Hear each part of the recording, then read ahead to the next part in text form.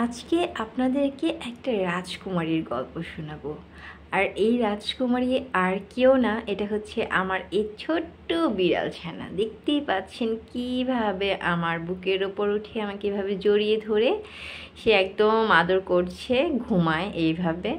তো আমি আপনাদের সাথে আমার এই রাজকুমারীর গল্পটা শেয়ার করব। তো আজ থেকে প্রায় এক মাস আগে তখন হালকা হালকা শীত ছিল। তখন ওকে নিয়ে আসা হয়? আর আমার ছেলে আদর, ওই আসলে বিড়ালের জন্য একদম পাগল অবস্থা। তো আমরা যখন গ্রামে ছিলাম আমার শ্বশুর বাড়িতে, তো আমাদের পাশের বাসায় একটা বাসায় এরকম বিড়াল ছানা হয়েছে। তো ওর মা নাকি ওকে রেখেই চলে চলে গিয়েছিল। তারপর আদর ওকে নিয়ে আসে আমাদের বাসায়। ও তখন একদম ছোট ছিল, হাঁটতে পারতো না। হাঁটতে গেলে কি হতো? শরীরটা ওর কাঁপতো। এত ছোট একটা বাচ্চা। তো এইদিকে আমি আবার বিড়াল দেখে প্রচণ্ড ভয় পাই। তো এত ছোট বাচ্চা দেখে আবার খুব মায়াও হচ্ছিল।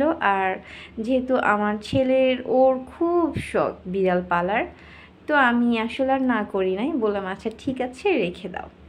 কিন্তু কথা হচ্ছে আমার এই বিড়াল পালনে কিন্তু বিড়াল যে পালে মানুষ, আমি এর কিছুই জানি না, আমি অনেক কিছু ভুল করেছি, সেগুলো আপনাদের সাথে শেয়ার করব যেন আপনারা যারা আমার মতো নতুন, তারা যেন এই ভুলগুলো না করেন। তো আমি এই যে যে ভুলটা করেছি সেটা হচ্ছে ওকে গোসল করানো। বিড়ালকে দুই মাসের আগে কখনো গোসল করাতে হয় না, দুই তিন মাসের আগে। তো আমি যেহেতু জানি না, এই ছোট্ট বাচ্চাটাকে এই হালকা শীতের মধ্যে আমি গোসল করিয়ে ফেলছি। আল্লাহর অশেষ রহমতে ওর আসলে কিছু হয়নি, কারণ বিড়াল কিন্তু ঠান্ডা সহ্য করতে পারে না। তো দেখা যায় যে এত ছোট বাচ্চাকে গোসল করালে ওরা কিন্তু ফ্লু হয়ে কিন্তু মারা যায়। তো যাই হোক কি করব? এখন বিড়ালের কোনো শ্যাম্পু ট্যাম্পু কিছু কিছুই ছিল না। তো আমাদের বড়দের যে শ্যাম্পু, সেটা ইউজ করেছি। আর এটা ইউজ করাও একদম ঠিক না। ওদের কিন্তু আলাদা শ্যাম্পু এগুলো পাওয়া যায়। সেটাই কিন্তু বিড়ালকে ইউজ করা ভালো। তো যেহেতু আমার কাছে এগুলো কিছু ছিল না, সেটা দিয়ে আমি ওকে গোসল করিয়ে দিই। আর যেহেতু একদম ছোট্ট একটা বাচ্চা ছিল তো ওকে কিন্তু গোসল করানো কোনো ঝামেলাই হয়নি। কারণ বড় যদি বিড়াল বাচ্চা হতো, তাহলে কিন্তু ওরা অনেক লাভঝাপ করতো। আর যেহেতু ও ছোট একটা বাচ্চা, ও চুপচাপ বসেছিল। আর গোসল করার পরে সে কী কাঁপুনি তো ওকে তখন এইভাবে টাওয়াল দিয়ে আমরা পেঁচিয়ে, জড়িয়ে ধরে রাখছি। তারপর হেয়ার ড্রায়ার দিয়ে কি করলাম? ওকে শুকিয়ে দিলাম। অবশ্যই এই কাজটা করতে হবে। আর একটা জিনিস কি? এই হেয়ার ড্রায়ারের শব্দে ওরা প্রচণ্ড ভয় পায়। যেহেতু ছোটো বাচ্চাকে আমরা দুজন ধরে তারপর শুকিয়ে দিয়েছি এতেও কিন্তু আরাম পেয়েছে। তারপরে যেটা দেখলাম, ওর শরীরে না উকুন হয়েছিল। তো মনে হয় পনেরো বিশটার মতো এরকম উকুন ছিল।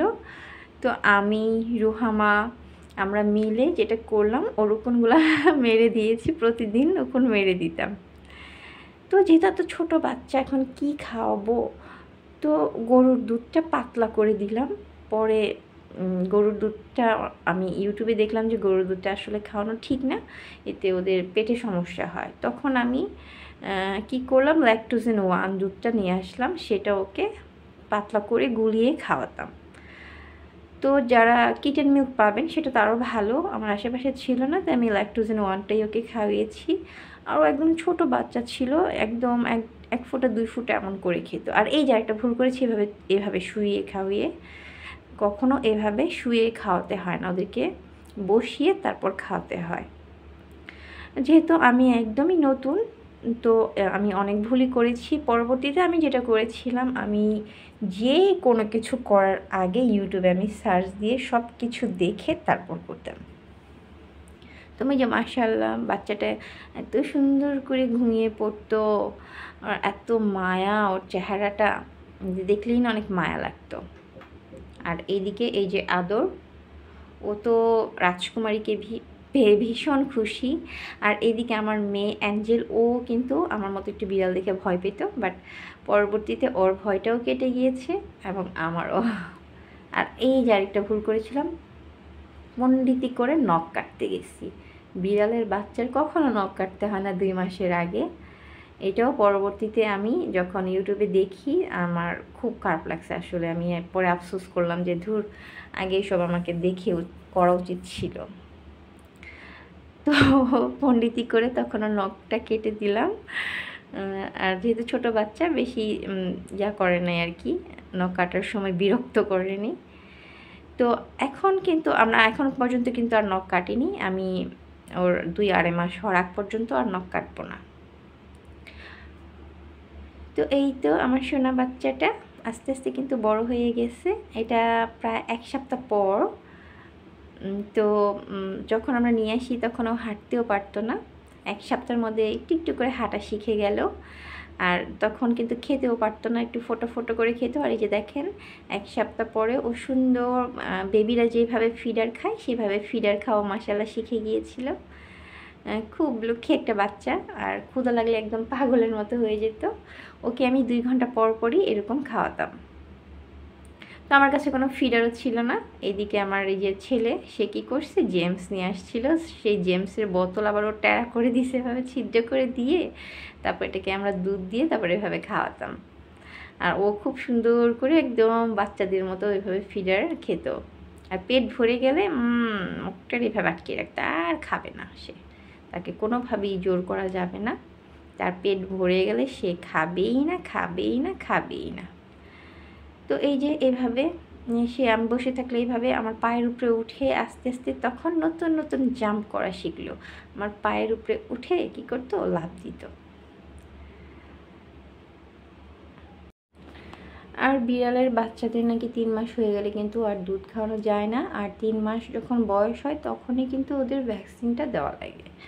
তো যেহেতু এখন ও ছোট, তো এখন আমি আর ভ্যাকসিনটা দিতে পারিনি। তারপরও আমি কিন্তু ওকে ভ্যাটের কাছে নিয়ে গিয়েছিলাম। তারা আমাকে ডিটেলস বলে দিল যে তিন মাস হলে তারপর যেন আমি ওকে নিয়ে যাই। আর কৃমির ওষুধটাও খাওয়াতে হবে। সেটা আমি ওকে দুই মাস, আড়াই মাস হলে খাওয়িয়ে দিব। ভ্যাটের কাছে নিয়ে যেয়ে, তো আপনাদের আশেপাশে যে যদি ভ্যাট থাকে সেখানে কিন্তু দেখা, দেখাতে পারেন আপনারা। এছাড়া কিন্তু এখন অনলাইনেও কিন্তু দেখানো যায়। তো এই তো, এইরকম দুই ঘণ্টা পর পর তাকে আমি খাওয়াতাম। ও আরেকটা কথা, ও কিন্তু কখনো কিন্তু বেডে বা ফ্লোরে কখনো পিপি বা পটি করেনি। ও সব সময় যেদিন আমরা নিয়ে আসি, সেদিন থেকেই আমরা ওকে বালুতে কি করি পটি ট্রেনিং করি। একটু পরপরই আমরা সেখানে বসিয়ে দিতাম, ও না বুঝে ফেলছিল। তো দেখা যায় একদিনেই না ও না শিখে গিয়েছিল। তো আস্তে আস্তে আমি আপনাদের সাথে এই ভিডিওগুলোও শেয়ার করব কীভাবে ছোট বাচ্চাদেরকে আপনারা পটি ট্রেনিং করতে পারবেন। আর ছোট্ট বাচ্চাদেরকে কি কি খাওয়ানো যাবে এইসব ব্যাপারেও আমি কিন্তু আস্তে আস্তে আপনাদেরকে ভিডিওটা শেয়ার করব আপনাদের সাথে। তো এই হচ্ছে আমার রাজকুমারী সোনা। দেখতে দেখতে মার্শাল অনেক বড় হয়েছে আর সে কিন্তু কোলে ঘুমাতে, বুকের মধ্যে ঘুমাতে অনেক পছন্দ করে। সবাই কিন্তু মার্শাল্লাহ বলবেন আর আমার রাজকুমারীর জন্য অনেক দোয়া করবেন। আরও অনেক অনেক ভিডিও আসবে আমার রাজকুমারীকে নিয়ে। সবাই ভালো থাকবেন, সুস্থ থাকবেন। আল্লাহ হাফিজ।